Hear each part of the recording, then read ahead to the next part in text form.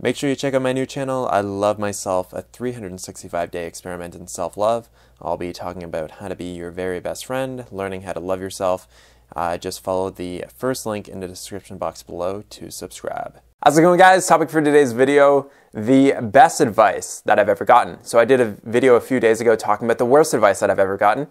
And my lovely girlfriend, High Carb Hannah, suggested that I do a video on the best advice that I've ever gotten. So I'm going to do that today and talk about basically some of the stuff that I wish that I knew maybe like 10 years ago.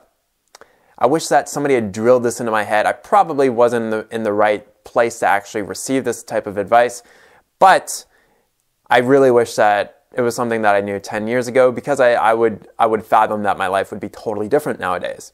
So, the first advice comes from Bob Proctor, who you know from watching uh, The Secret. And the second piece of advice comes from Rhonda Byrne, who is actually the creator of The Secret and has written a number of books as well. So, the first advice from Bob Proctor is the idea of constant spaced repetition. Something that he says in his uh, DVD program, You Were Born Rich, which you can actually watch on YouTube, is he talks about the idea of constant spaced repetition. So basically, what that means is constantly spacing the repetition of really good thoughts and feelings over and over and over again.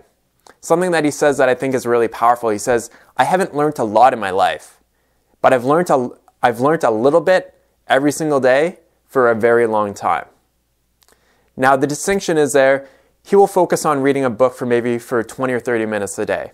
And he will do that habit over a number of years, right? Like he's done that his entire life. He's literally reading the same book that he started reading back, I don't know, like 30 or 40 years ago. He still reads the book Think and Grow Rich every single day. And he's been doing so for a long time.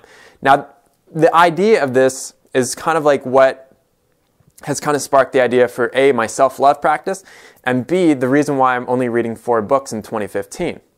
So it's the idea of repeating the same thoughts, the same ideas in your mind over and over and over again, every single day, over and over and over again, every single day, constantly, over and over and over again, the same ideas. Because that way you actually start to really internalize those ideas. Rather than focusing on one thought, and then the next day you're focusing on something totally different. And then the next day you're focused on to- something totally different. And what this basically, the reason why this is so important in me is because as I was growing up, I was always so focused on immediate gratification, immediately just being gratified. So if I wanted to do really well on a test or an exam, basically what I was able to do is I was able to I was able to study basically the night before and do really well.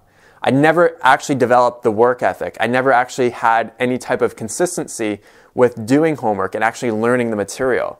So I was able just to do it in one short little, one short little like study session, just a little cram session.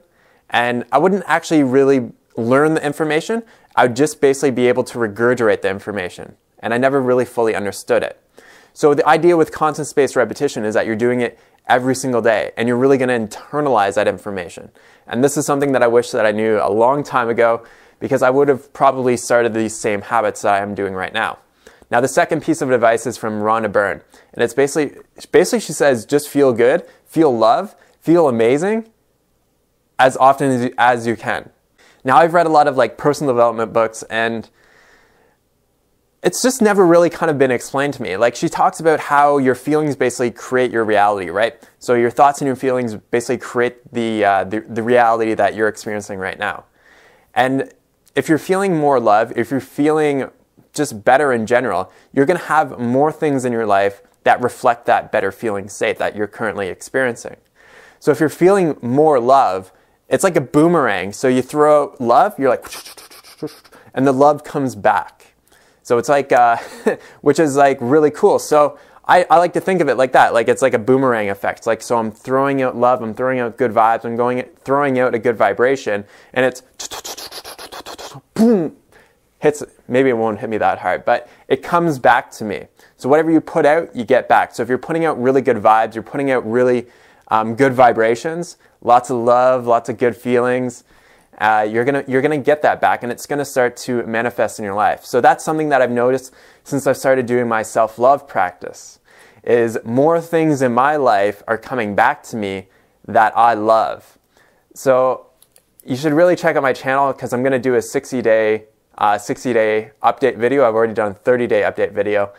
Um, but things are really starting to like manifest in my life. Like it's it's been really kind of crazy. Like some things have happened in the last 30 days that have been have been absolutely awesome. So the best advice that I've ever gotten, constant spaced repetition, constantly repeating the same thoughts and the same ideas in your mind over and over over again, and also feeling amazing, just feeling great as often as you can throughout the day. And that's really kind of like what I base my, my days around now is feeling good and constantly repeating those good thoughts and those good feelings over and over and over again. Feeling amazing. Awesome. Thanks so much for watching, guys. Have a great day. Talk to you soon. Peace out.